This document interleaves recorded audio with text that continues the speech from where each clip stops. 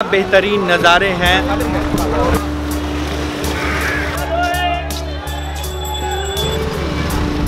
और आप देख सकते हो, दुकानों में आपको इस तरह की मूर्तियाँ और पुरानी पुरानी चीज़ें, खिलौने और चश्मे वगैरह, आप टोपियाँ वगैरह, क्लोथ्स वगैरह, कुछ भी यार ख़रीद सकते हो। ये मार्केट एरिया में ही आप समझ लो इसको। घंटा घर से बिल्कुल ही पास है और ये रही राजस्थान की वाइब्स। वाइब्स नहीं समझना, वाइब मैं बोल रहा हूँ। और देख सकते हो, यहाँ पे मिट्टी की भी बहुत सारी बर्तनें मिल रही है, जो कि घड़ी, घड़े घड़े हैं। पानी पीने के लिए खिलौने वगैरह, चूँकि टूरिस्टिक एरिया है तो ये तो लाजमी है। और मैं पहुँच चुका हूँ घंटा घर।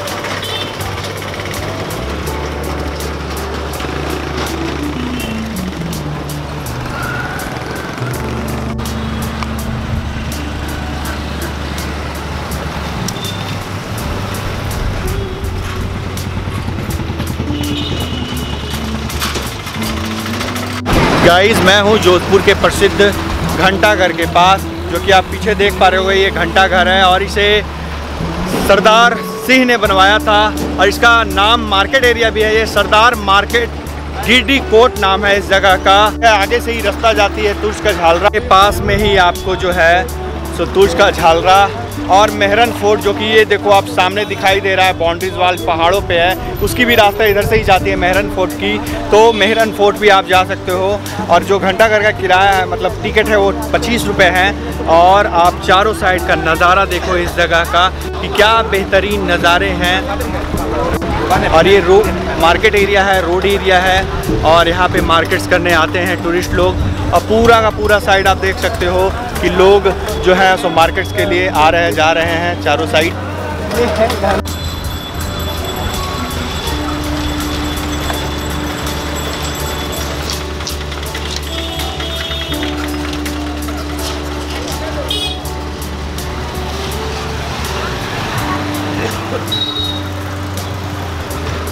मार्केट दिखा देंगे।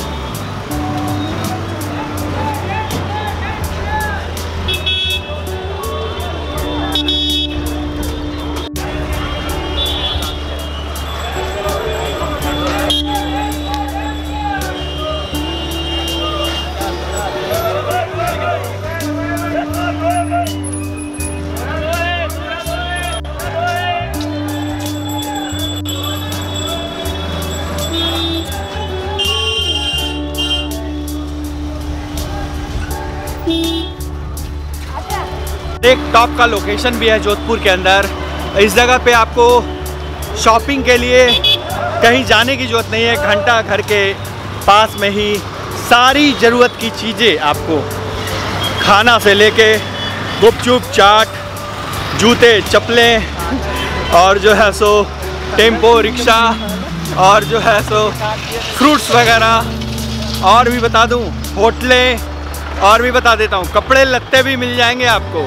तो बिल्कुल बिहारी लैंग्वेज में मैं बोल रहा हूँ, कपड़े लत्ते।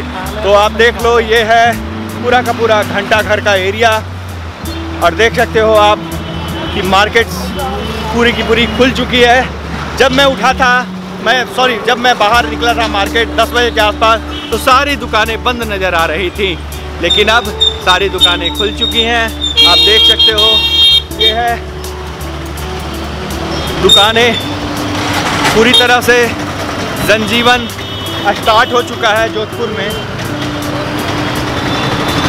जोधपुर के घंटाघर में और अब सुबह उठ के शूटिंग के दौरान लगी है ज़ोरों से भूख तो चलता हूँ आगे, कुछ खाता हूँ।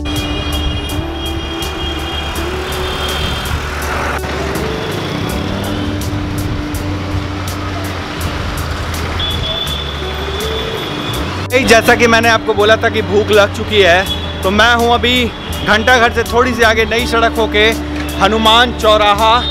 और ये है, देखो आप, हनुमान चौराहा। और हनुमान चौराहा के पास में ही नई सड़क वाली रूट में ये है प्रिया होटल एंड रेस्टोरेंट। यहाँ पे काफ़ी भीड़ लगी हुई रहती है। आता हूँ, चलता हूँ अंदर और देखता हूँ यहाँ का खाना कैसा है। गाइज़ मैं हूँ अभी होटल प्रिया और रेस्टोरेंट भी है ये। और देख सकते हो यहाँ पे किस तरह का ये है। यहाँ पे काफ़ी भीड़ लगी हुई थी तो मैंने सोचा यहाँ पे खाना अच्छा मिलता है। तो मैं अभी जस्ट बैठा हूँ, अभी ऑर्डर नहीं किया जो ऑर्डर करता हूँ, मैं आपको बताता हूँ।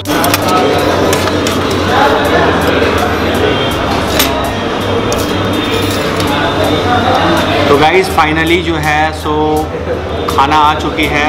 ये रही तवा रोटी। और सिंपल सा मैंचूरियन मैंने मंगाया है।